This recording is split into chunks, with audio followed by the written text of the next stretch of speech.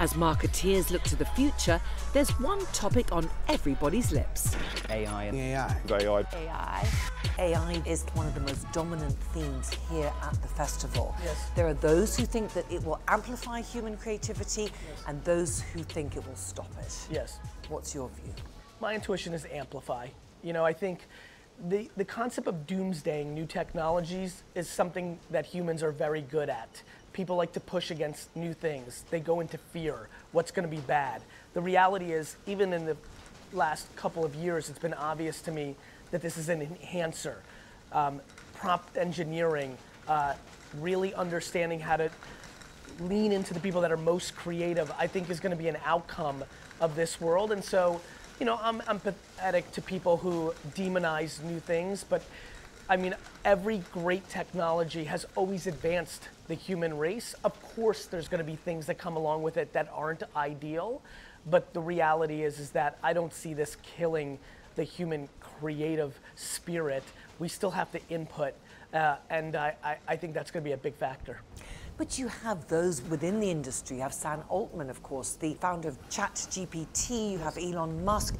All of those saying that it could be the end of the human race. I think that's the hyperbolized version of what they're actually saying. I- I think they're saying, hey, we need to be thoughtful about this because this is profound technology.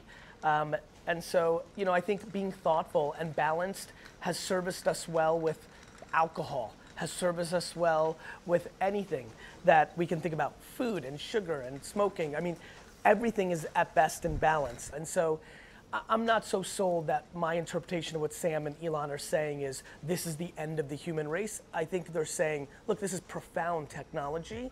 And if we're not thoughtful about it, it could get quote unquote away from us. I think those are two very different things. For Booking.com, the full impact of AI has yet to materialize.